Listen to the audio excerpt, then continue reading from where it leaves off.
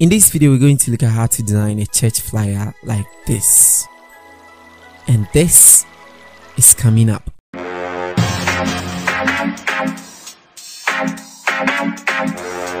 Hello everybody and welcome to the channel once again. Thank you so much for clicking on this video. If you're new here, please hit on the subscribe button if you're old here. Thank you so much for showing up. A link to download the resources that I'm going to use in this video will be in the description. Please be sure to check it out, excluding the pictures that I'm going to use today. So let's get into Photoshop and let's get started. Alright, so here in Photoshop, I'm using Photoshop CS6. If you have any earlier versions, that is fine. You go to file and then you create a new document. So I'm going to use the international standard. So I'll go to international paper and for the size, I'm going to choose A3. I'll go ahead and then I will and click OK once it opens in the portrait mode for me I'll go to image and then I'm going to image rotation and I'll rotate it either 90 clockwise or anti-clockwise either of them. First things first I'll go to the layer adjustment over here go to gradients and I've already set a gradient that I'm going to use. So this is the gradients these are the hex codes if you want to use them. So you go ahead and then you click OK. Once you have this you click OK from here to and then you can move on. Now let's go back to the resources. I have the first image that i used over here a background and i'll drag and drop it inside of photoshop so i'll place it right on top of this one. Hold alt and shift unless otherwise you are using a, an earlier version of photoshop so you drag it or you scale it up like this and you double click. Once you're done with that you can go ahead to the blending mode and set this to overlay Next off, we're going to change this particular into 80%. We're going to reduce the opacity to 80%. And then you can press Ctrl T again to open this one up if it looks so small for you.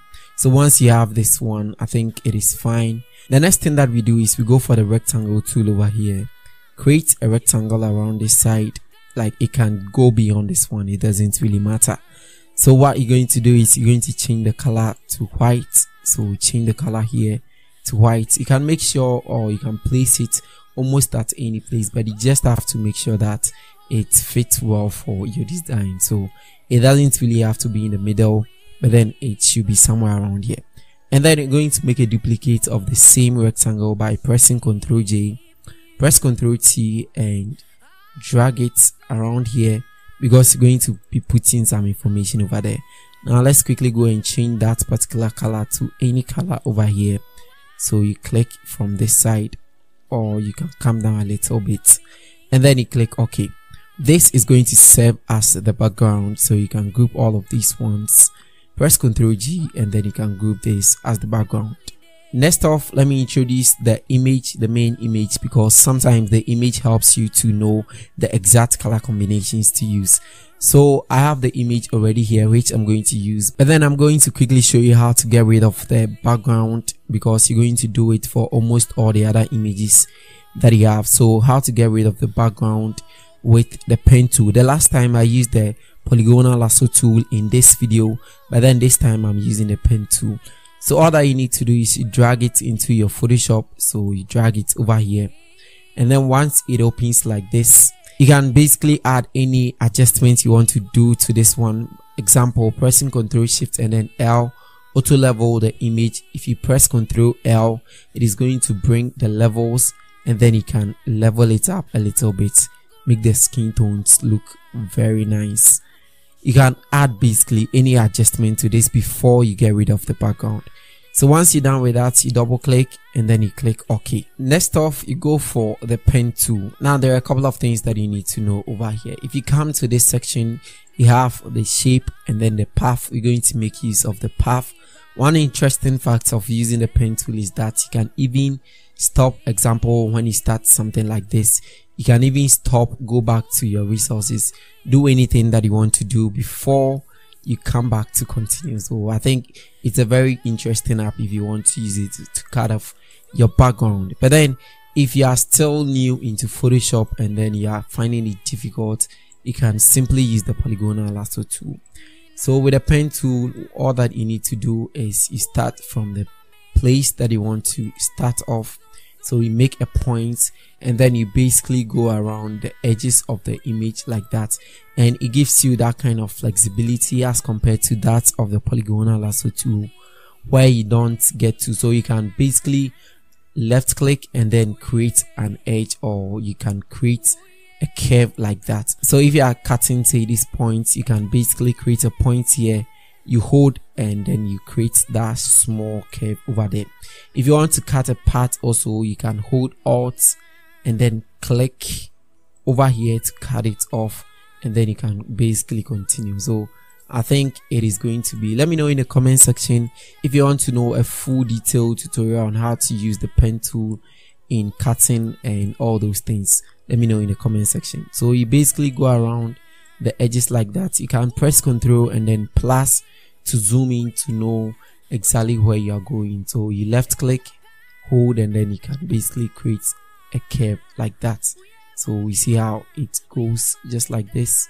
You don't really need to get it all perfect because the refined edge will even help you with the best to make some awesome cuttings. So that is how it goes like that. Let me just quickly fast forward this area and get back to you when I'm done cutting so that I can get you through how to remove the background as well.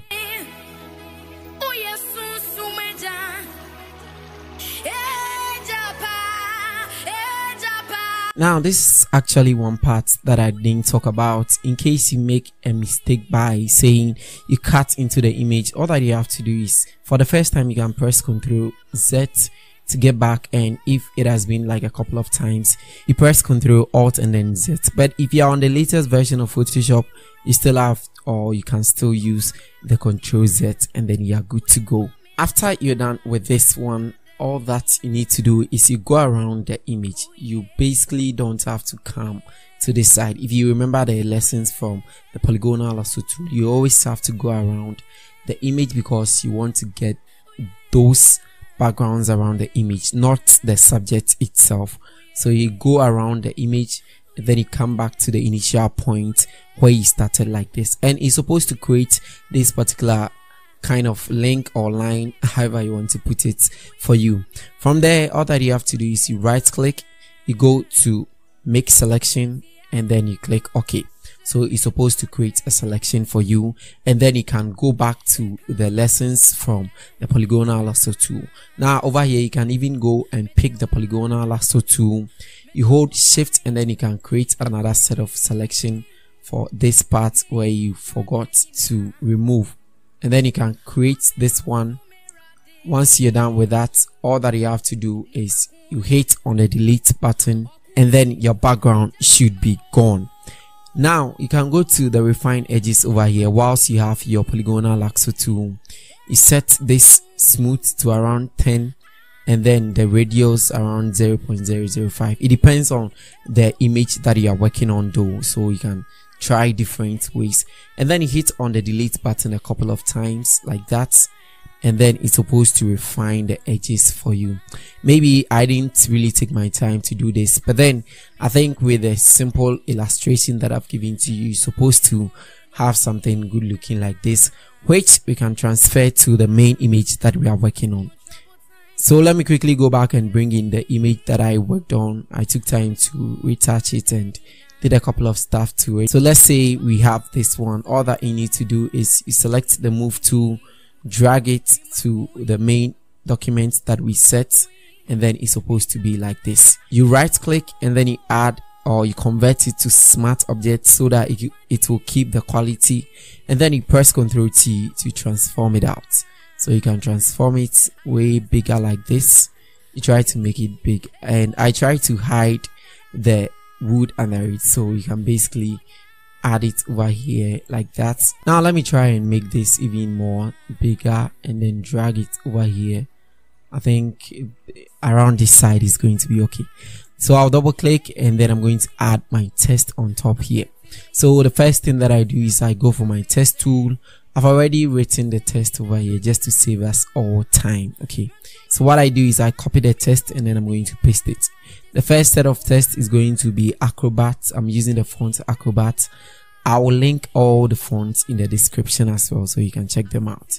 So I'll go inside of this one. I'm going to select this all.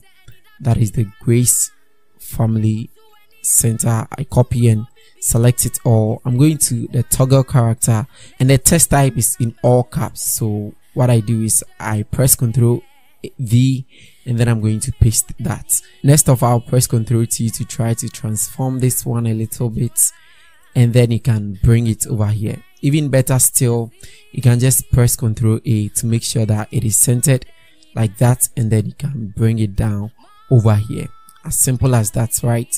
Next off, you press Ctrl J to duplicate this text and then you drag it down a little bit like that.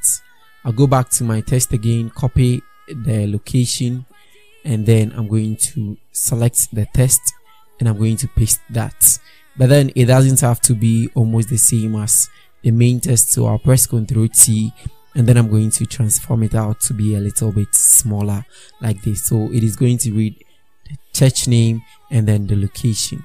Let me just quickly bring in my logo before I forget to bring it. So you drag and drop it inside of Photoshop. You can double click on this one.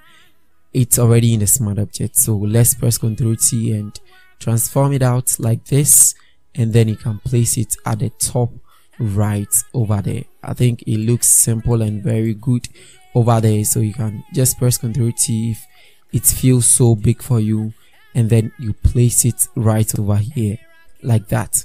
I just feel this image is so big. Let's try to transform it a little bit.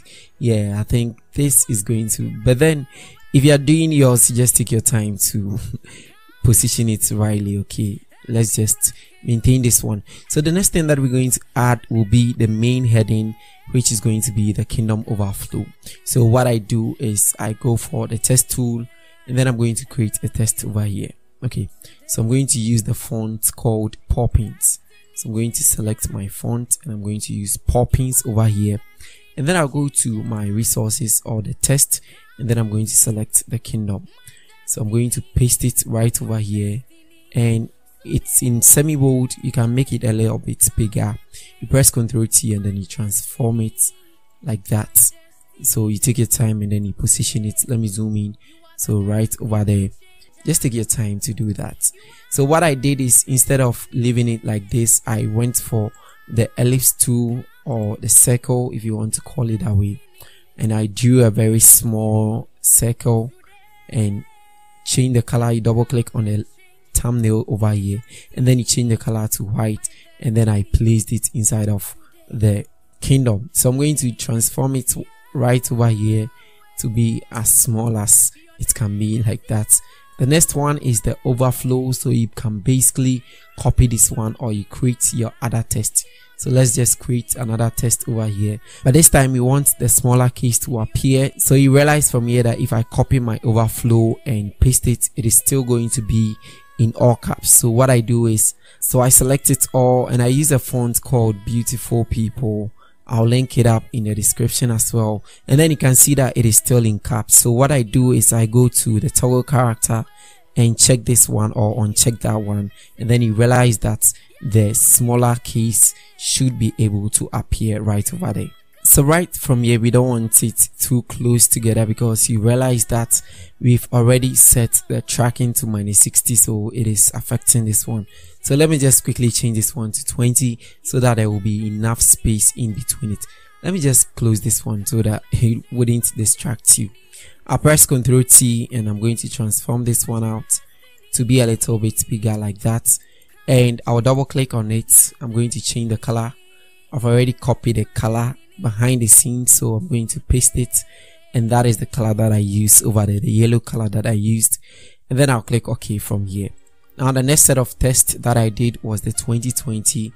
So I'm just going to copy this one, double click on the T over here, and then I'm going to change that particular font also to a font called Birdman. Remember, a link to download them will be in the description. So I'm going to type 20 and then 20 and I'm going to bring it over here. Press Ctrl T and transform it like that. So I think this is going wayward. So I'm going to hold Control and select these three and I'm going to push it to the left side a little bit so that there can be space for the 2020. let me just go back and select the 2020 press ctrl T and I'm going to transform this one out like that I'll make another duplicate by pressing ctrl J and I'm going to duplicate it or bring it right beneath of the other one. So I can select all these ones by holding shift and then pushing it to the left side a little bit like this. I really forgot this ellipse so let me just bring it right over here like that. Now I don't want you to get confused. Let me just quickly group my text or my works so that it will be good for you. So I'm just going to select from the grace to the image over here. Press ctrl G and group that one and call it the heading. So you realize that if I turn this one off the heading is going to be off. So I'm going to add the last section of this one before I group all of that. So I'll go for my rectangle tool create a rectangle over here and I'm going to change the color to white and then I'll click OK. I'll press Ctrl T to transform it to make it a little bit smaller like that and then I, I can position it over here. So inside of that I'm going to write a night of worship. So just write a night of worship or basically I think I have it over here. So let me just copy it in order not to make any typographic error. Okay. So let me just select this one, change the font to Poppins back and then you can change this one to semi bold and then you press ctrl T to transform it like that. And then you send it to your rectangle. Now you can change the color back to uh, a hooping like a nice color. Let's say this particular color right over here. Or let's make it a little bit darker. And then you can click ok and then ok from here as well once you're done with that we move to the next section of it. So like i said i'm going to select right from the kingdom over here straight to the night of worship. Press ctrl g and then i'm going to group that and i'll call it main. So you realize from here i have my main and then i can press ctrl t to transform this one out and push it up on top a little bit like that so that it will be a bit separated from the rectangle because we're going to add a couple of images over here. So i'm going to add the images that i have attached to this one. I'm going to add it over here. So first of all i'm going to select the rectangle tool over here. I'm going to create a rectangle here. It should be very small or quite okay because we need five of them and then we need to fill it with images as well. So it has to be quite okay. You press Ctrl T and then you transform it to make a little bit nicer like this. You can first experiment to make sure that you have all your five rectangles on point. So the first thing that you're going to do is you press Ctrl J to make a duplicate and then you hold shift and then you left click and drag it to the side like that as simple as that it should be on the same line with the same size and everything for you you can hold control and then you select the second one press ctrl j to make sure that a duplicate is made for you with a tool. And then you can right click on the last one over here the rectangle. You press ctrl j and then you can duplicate that over here. So let me just bring that to be the first one so that we can just see it well over here. So nice. You take your time to make sure that the intervals also are very good. The current version of photoshop helps you to make that wise or nice intervals. So you select the first rectangle, jump straight to the last one by holding shift and then you press Ctrl T to transform that one out.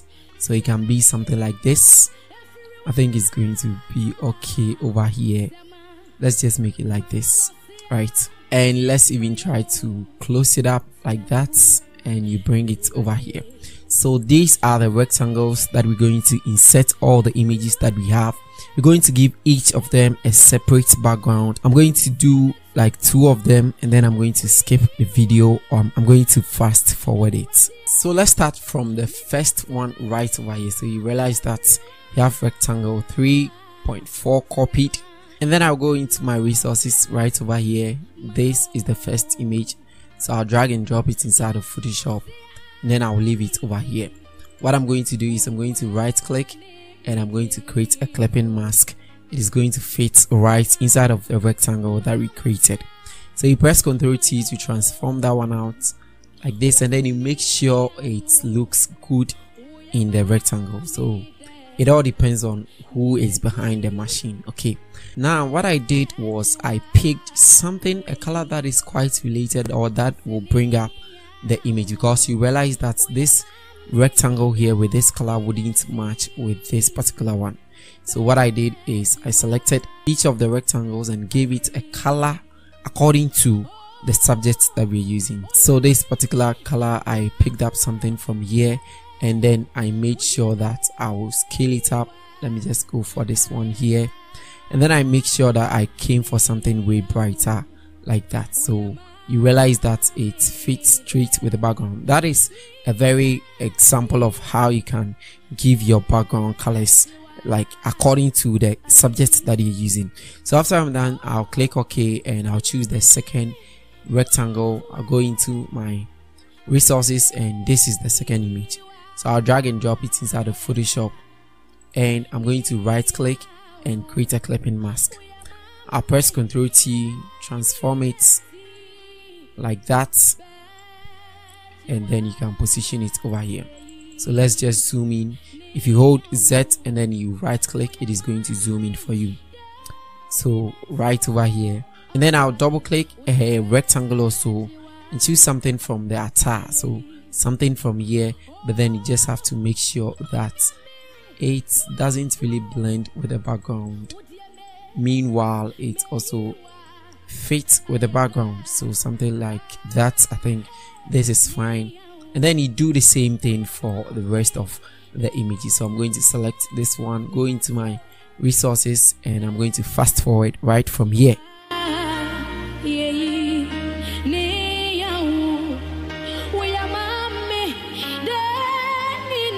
so I've already created a group for this one named it pictures and I've placed all my pictures in here because it's about getting quite confusing.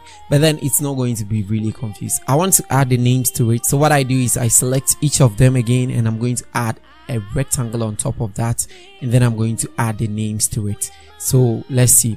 I'll go for my rectangle tool like this create a rectangle and I'll right click and create a clipping mask now notice something from here. You realize that when we are looking for a complementary background, we chose something way above. This time, when we want another complementary color, we can choose to go way beneath so something that works with the image okay so let's see even if you pick this particular color we can come down a little bit like this and pick the shade or the darkest one of it then it has to complement the color that is the basics of color concept in photoshop. You choose the image and then you choose a color that complements it. So you can use the high shadows and the low shadows to make or choose complementary colors. So you click ok when you are done. And then just like we did for the rest you're going to duplicate it for the others as well. So you press ctrl j to make a duplicate. You slide it over here. And then you can quickly check. We have our background over here. So you, you have to bring this one right beneath here. So let me just bring it over here. And then you right click and create a clipping mask. So it has to also be in there for you. You double click on that and then you realize that we chose a very light one over here. So you can slide it down or you can even go to the left over here. And then you choose so you realize that the colors are complementing each other without any hesitation. And then you do this one too for the next one. So it's going on top over here right there. Right click and create a clipping mask. So you hold alt or shift and then you drag it to this side. And then you can change the color as well. So i gave this one this color because i picked it. Or basically you can just pick it from here. But because this one is already most like pink let me just give this one right over here. Now i'll do the same thing for the rest so once you're done with all this you can then go ahead and add your text so that one can be on top of all of that all the images all the arrangements that you've made. So you can go for the text tool over here. And then you start to you don't write directly inside it the rectangle. Don't forget that rule. So let me just go for this particular first name. It's Erica. Just going to copy that one and then I'm using the font called Raleway. So it will be in the description. You press Ctrl T and then you transform it out like this. You double click on it and then you can drag it back into the rectangle. Use your arrow keys take your time to position that. And you have to make it a little bit smaller because some of the names are lengthy. So it has to be in such a way that it is going to fill the rest. So you press ctrl j you make a duplicate hold shift and then you drag it to the left side. You go and select your test or basically you write your test select it all and then you paste it. Now that's all your images and the test and everything is set you can go back and close your group like this one and then you can zoom in to check out if everything is fine. We have another image that we didn't actually bring in so this is the image. So i'm going to drag it inside of photoshop like that and i'm going to place it right underneath of this image. So i'm just going to close it up like this. Let me just even zoom in so that you can see it clearly over here. And then you take your time. Because they were in a group that's why i couldn't actually get anybody to place them. But let me know in the comment section if you had like a better idea where you would have possibly placed this particular group over here. And the last thing that we're going to do is we're going to add the date and the venue and any other thing that you want to add to this one. So i'll go in here. I have the date over here. It was actually march 13 that i designed this one. But then i'm going to just change the date. So let me go for a test tool over here and i'm going to use the font poppins you know i really love poppins right? I think it's literally becoming my favorite font. So let me just change the color over here and let's reduce the size to i think medium is fine but let's reduce the font size over here. So it affects the leading so let's close the leading also here as well and then you can bring that one here. Press ctrl t and then you can transform it to look good over here. Any other thing like the telephone or contact can be duplicated you press ctrl j to duplicate that and then you can actually add your telephone. Let me just add mine. So anything like a contact detail you can just add them over here. And the last thing that we're going to do is you press ctrl j again make a duplicate and then you give any other further um, information. So i'm going to select doors open at 6:30 and i'm going to select this duplicated one. Select it all by pressing ctrl a and change the color to white and then you can change this one to regular. So you press ctrl t transform it to make sure that everything looks good over there and then you can make a duplicate again hold shift and drag it to the left side. And then I think we had an email as well. So you can select your email copy it and then you can paste it over here. Now your flyer is almost done but let's add a bit of glow to it. So let's quickly jump back to the main over here. You remember the main. Go back to our resources and we have this optical lens flare over here. Let's quickly drag it into photoshop. Leave it somewhere around here you can take your time to open it up and place it somewhere around the side. You double click on that change the blending mode to screen so that it will hide everything excluding the glow over there. And then you can see how beautiful this looks.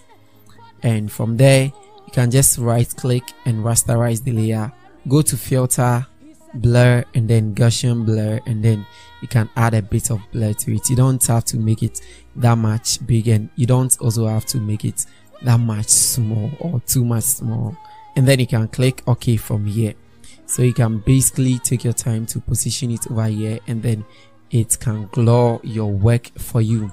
And from there your design or your flyer is done. I hope this video was helpful. Before any other thing i want to say a very big thank you to the grace family worship center for allowing me use these particular images and all their names and everything I actually designed this for them. You guys asked for the tutorial and I asked for their permission to use it in a tutorial. So a big thank you to the Grace Family Worship Center. I hope this video was helpful let me know in the comment section if it was for your feedback helps so much in building this channel. Thank you so much for sticking around to watch this video. Please don't forget to like and subscribe and i'll see you guys in the other one. It's innocent here and bye